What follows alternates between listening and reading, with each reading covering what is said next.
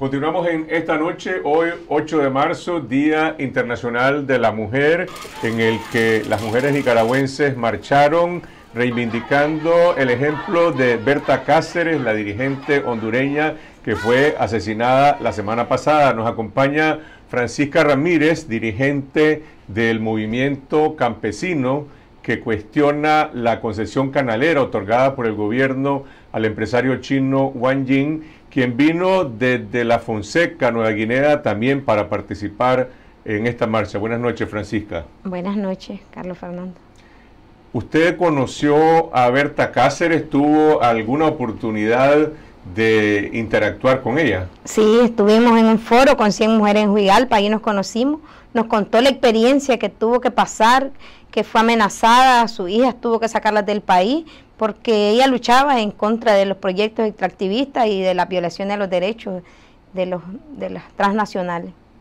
Pero usted no ha tenido oportunidad de conocer esa lucha, digamos, en Honduras, solamente a través de la presencia de ella aquí en Nicaragua. Sí, de la experiencia que ella nos vino a contar y de que teníamos que pasar tanto sufrimiento, que decía ella, por luchar por los derechos, o sea, de las transnacionales, de los grupos poderosos económicos que siempre tratan de violar los derechos de los pobres o de los sectores bajos de los países. A usted la vimos en Managua hace unos meses cuando encabezó junto con otros dirigentes la marcha nacional que se hizo en reclamo y en protesta exigiendo la derogación de la ley de la ley canalera. Ahora vino a participar en este Día Nacional de las Mujeres, en este Día Internacional de las Mujeres. Sí, eh, porque yo quería solidarizarme con la familia, eh, venir y, decirlo públicamente que es injusticia lo que hacen los gobiernos, que le dan concesiones a transnacionales para que exploten a los pobres, para que nos exploten a todos nosotros, nos quiten el derecho de vivir en paz, porque realmente quitarlos nuestras propiedades, nuestros territorios, quitarlos la agua de nuestro país, que es nuestros recursos naturales, sentimos que es quitarlos la vida a muchos seres humanos que vivimos en Latinoamérica y como ven, Doña Francisca, hasta hace poco usted era vicepresidenta del Consejo Nacional en Defensa de la Tierra, el Agua y la Soberanía. Ahora la han nombrado sus colegas, este consejo la han nombrado presidenta de este consejo. ¿Qué representa, qué significa eso para usted? Bueno, ahora soy la coordinadora. Una, los reglamentos del consejo. Queremos demostrar que hay, hay democracia.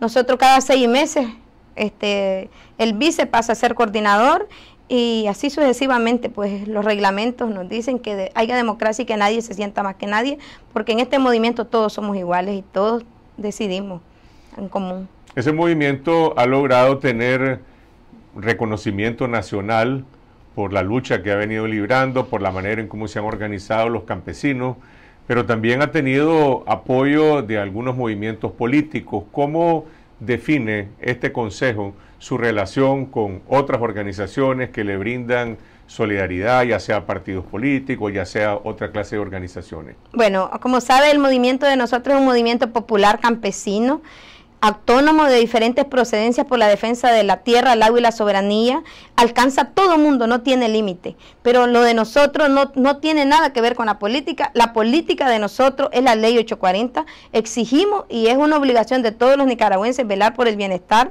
por velar por la soberanía de nuestro país. Y nosotros ese es nuestro objetivo, que la ley 840 sea derogada y que se nos respeten nuestros derechos como campesinos.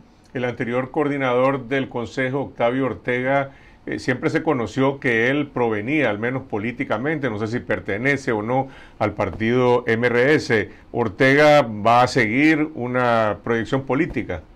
Está en su derecho, él lo ha hecho a criterio personal, no tiene nada que ver el movimiento.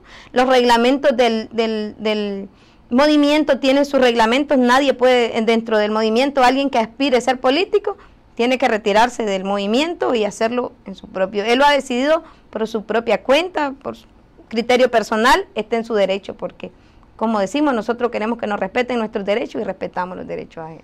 Ahora, ¿a usted le han hecho alguna oferta, algún movimiento político de participar en estas elecciones que dicen que se van a llevar a cabo en noviembre? Todavía no sabemos porque ni siquiera las han convocado y tampoco sabemos si realmente eh, al final las diferentes fuerzas políticas van a participar. Pero bueno, usted es una persona respetada no solamente en la Fonseca, no solamente en Nueva Guinea, sino también a nivel nacional. Sí, eh, mi meta no ha sido tener un, un cargo político, la meta de nosotros como campesinos es que nos respeten nuestros derechos, que deroguen la ley 840 y organizarnos porque realmente en Nicaragua lo que nos han hecho es violar los derechos. Quienes han llegado al poder solo han visto por un poquito de de grupos poderosos económicos y ya nos han olvidado y a los que llegan a, gobernar se les olvida que gobernar es ver, velar por el bienestar de todos. Entonces yo lo que digo hoy, que los pueblos organizados podemos decidir por nuestro propio destino y esa es la forma, pero nosotros no aspiramos y espero en Dios que nunca se me pase por la mente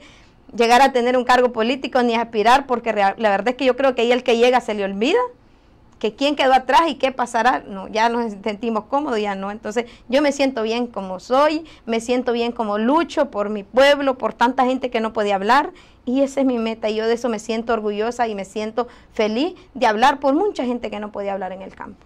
A finales del año pasado conocimos que el gobierno había decidido postergar toda clase de intervención directa en materia de tierras relacionadas con el canal. Es decir, ya sea expropiación, ya sea compra. El gobierno dijo que quería esperar las elecciones de noviembre. De alguna manera, pues es una especie de reconocimiento a la fuerza, al peso que tiene el movimiento campesino eh, que usted representa. Desde finales del año pasado a hoy, ¿ha ocurrido algo diferente? Es decir, los operadores de, ya sea de la empresa HKND o de la Procuraduría o del gobierno han hecho presencia en esos territorios que están amenazados por la ruta canalera? Eh, por terrestre no, pero aéreos sí nos amenazan, pasan hasta 80 veces cerquita de las casas, los niños lloran, los niños nos preguntan a los papás dónde nos van a llevar, qué nos van a hacer, eh, eso ha sido una zozobra para, para nosotros los campesinos y sentimos que es una intimidación que nos hace el gobierno porque nos amenaza que nos va a quitar las tierras.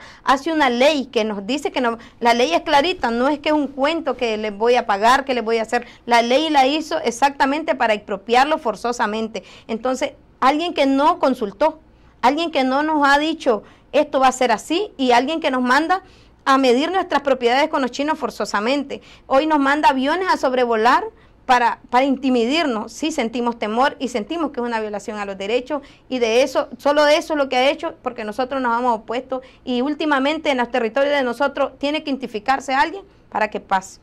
Hay versiones de que el gobierno también está tratando de ganarse la simpatía de los pobladores, de los campesinos de esa zona y que les está haciendo ofertas en algunos casos de servicios de salud, que son cosas que el gobierno está obligado a hacer independientemente de que son derechos de la población y son derechos universales. ¿Ha habido alguna mejora de los servicios de gobierno en la zona, digamos, en la, en la Fonseca o en los otros lugares que están en la ruta canalera? No, más bien hemos estado abandonados. Eh, las carreteras están desbaratadas. Nosotros estamos pensando que en los primeros dos meses de lluvia no tenemos carretera. Los médicos han estado llegando las brigadas médicas, pero llegan a darle la pastilla y ofrece ahí un militar ahí con un arma. Sentimos que esa es intimidación. Entonces no sentimos que nos ha, más bien nos ha represionado. Sentimos que hemos estado como aislados. Hay, hay, ahorita tenemos un muchacho que se le trozó la mano, llegó al hospital y le dijeron, vos sos de los marchistas, le cosieron la, la mano con todo y un zacate que se había cortado, se le pudrió, regresó, lo trasladaron a Juigal, país le abrieron y le sacaron los zacates. Llegó otro y le dice, ah, vos sos de los marchistas, le dice, vos vas, le dice, lo trasladaron a Juigal, ni tan siquiera lo lavaron con jabón, ahí está el muchacho con el cicatriz. Y así sucesivamente pasan. Llegó un campesino, le robaron cuatro terneros y le dejó a decir al policía que necesitaba que siguieran los ladrones, que más o menos le habían dicho por dónde el ganado. Ah, le dice, vos sos de los marchistas, vos le dice, andate con los que tenés que andar. Ustedes son negros, anden con los negros, nosotros somos blancos, anden con los blancos. Más bien hemos sentido que nos han visto. Por eso nosotros como campesinos y como hemos leído los 25 artículos de la ley, los 25 artículos de la ley no dice que el canal va a ser beneficioso para los nicaragüenses. Y más bien nos preocupa porque el gobierno lo ha politizado. ¿De qué manera lo ha politizado? No ha sido un proyecto de nación, porque él dijera, hombre, opine el nicaragüense, veamos esto de fondo, cómo es, pero realmente si ya alguien está en contra del canal, está en contra, ya se siente que está en contra de él. Entonces yo no entiendo cómo podrá decir que es un proyecto de nación si él lo politiza, que el que no está de acuerdo del canal está en contra de él. La última vez que usted vino a marchar a Managua tenía como propósito llegar hasta la Asamblea Nacional para presentar eh, una petición de miles de personas que están demandando la derogación de esta ley. La policía no les permitió llegar, ustedes se retiraron evitando una confrontación, afortunadamente no hubo eh, víctimas que lamentar. ¿En qué quedó este movimiento para presentar una petición para la derogación de la bueno, Lo que íbamos a la asamblea era a exigirles a la misma asamblea, que fue la que hizo esa ley, que no puede existir esa ley en Nicaragua y vamos a hacer pues que íbamos a iniciar ya la iniciativa de recolecta de las firmas para la iniciativa de la derogación de la ley. Ya las tenemos, teníamos 14 mil, pero como la Asamblea dice que es algo legal, que tiene que ser en papel sellado, y nosotros los campesinos hemos hecho nuestros propios recursos, todos los gastos y todo. Entonces hoy ya tenemos más de 6 mil firmas, ya como dice la Asamblea, y 14 mil, ya sumamos 20 mil. El día 15 de marzo vamos a estar aquí en AUCA, ahí en la parada de buses. Eh, cualquiera que quiera ir de Nicaragua a dar su firma eh, para la iniciativa, ahí vamos a estar el consejo con el eco de abogados de la Popolná recolectando firmas y, necesitamos pues que el pueblo se pronuncie porque esa ley es perjuicio para todos, porque es abierta de todo Nicaragua. Ahora, usted sabe que al final de cuentas los que van a decidir sobre esa solicitud de derogación pues son los mismos diputados que controlan la Asamblea que votaron a favor de la ley canalera. Eh, ahora, hay ¿Ustedes han planeado otro tipo de actividades a realizar en los próximos meses, este año?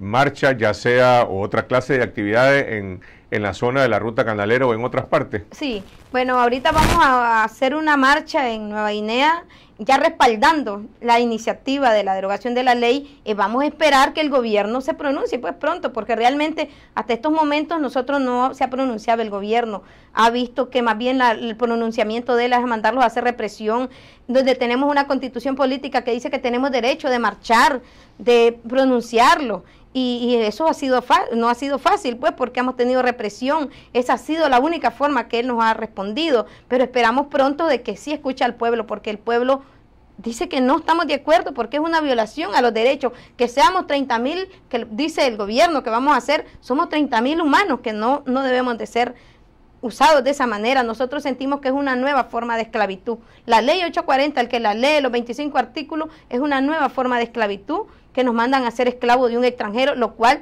nuestro país es de nosotros, nuestras aguas son de nosotros. Dios nos dio este país tan lindo que lo tenemos que proteger y cuidar todos los nicaragüenses. Pero la, la gente que ha reaccionado con mayor fuerza son personas como usted, que está en un lugar afectado directamente por la ruta canalera, otros que estaban en la parte de arriba. ¿Qué pasa con, cómo siente usted la reacción de los nicaragüenses que están en otras partes del país, que están en León, en Chinandega, en Matagalpa, donde no va a pasar la ruta canalera? Ustedes han hecho incluso acciones de solidaridad con la gente que padece hambre por la sequía en el, en el norte del país. ¿Cómo reaccionan ellos ante esta lucha que ustedes están librando? Bueno, parte del pueblo de Nicaragua está desinformado y desgraciadamente nosotros decimos que nos representa la empresa privada, que nos representan los políticos de arriba, pero hoy velan solo por sus intereses propios, no velan por, la, por los humanos, no velan por el bienestar del pueblo, velan solo por sus intereses propios, entonces ellos han callado, porque la empresa privada tendría que ser, esa ley 840 tendría que estar en sus manos y haberla visto de un punto de vista que si era beneficioso o no era beneficioso. Y en este caso es cierto que dicen ellos que hay que para hacer algo tiene que sacrificar algo, pero yo creo que ese sacrificio que han hecho es demasiado grande. Está hablando usted de la empresa privada y de los políticos. La población, ¿cómo siente usted la manera en cómo ha reaccionado a la lucha que ustedes están librando? Bueno, hoy ya la, la, gente que se ha informado, la gente que ha leído la ley, realmente eh, se ha volteado y no está de acuerdo, aunque muchos pues dice yo tengo un cargo, no puedo pronunciarme, pues pero se ve que no están en que no están en contra de nosotros, sino están a favor de que haya justicia, pues que no, no nos hagan eso el gobierno.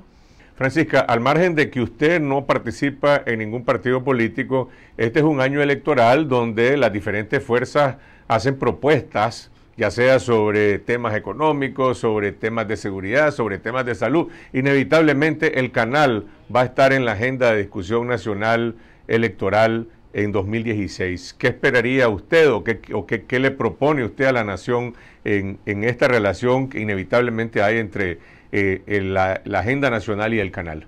Bueno, una, pues todos los nicaragüenses tenemos derecho de, de votar, de ver el bien, ver por dónde, a quién nos parece, porque me pareciera a mí que, me pareciera en mi forma de ser o mi manera de pensar que un político tiene que convencer a un pueblo, sí, si realmente pues va a ser algo bueno y, ofrecer, pues a estos momentos yo ni tan siquiera se me ha imaginado qué podrá pasar en Nicaragua de la política, porque como nosotros la lucha es la ley 840 ha sido, entre el movimiento no hemos hecho debates de la política, hemos hecho debate qué vamos a hacer, cómo vamos Qué, qué, acciones vamos a tomar. Esperamos que el gobierno nos derogue esa ley pronto y eso ha sido nuestro mensaje pues dentro del Consejo. Como personal, pues yo digo que, que tenemos derecho de votar porque el candidato que miremos que puede y que ojalá los que lleguen al poder pues velen por el bienestar del pueblo, que no solo velen por su por sus intereses. Gracias Francisca. Entonces el 15 de marzo, la próxima semana, van a convocar abiertamente a ampliar la recolección de firmas para la iniciativa de derogación de la ley. Sí, aquí en Managua, frente ahí en la parada de buses de la UCA. Gracias Francisca Ramírez. Vamos a una pausa.